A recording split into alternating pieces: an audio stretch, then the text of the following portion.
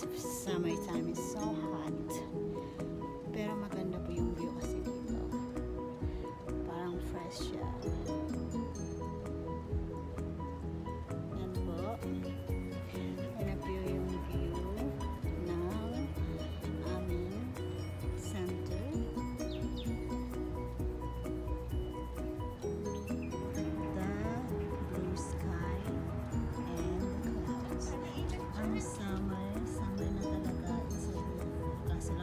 Sobrang init guys. Ito po yung view ng hallway sa garden.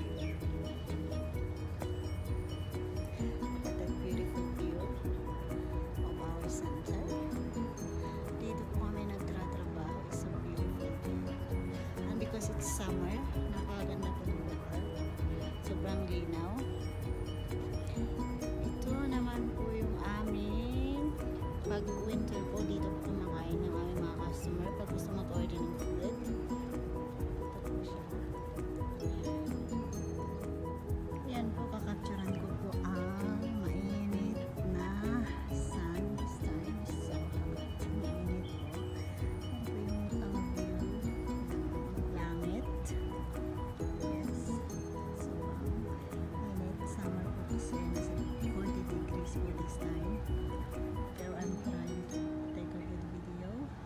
people will like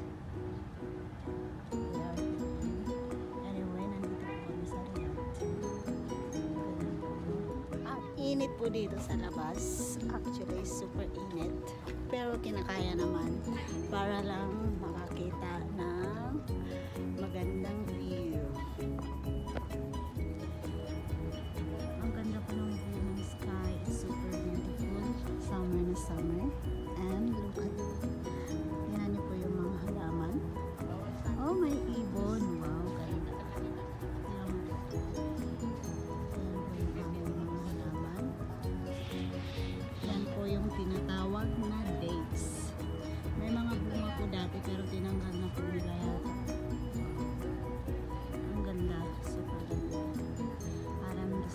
one I'm sweating.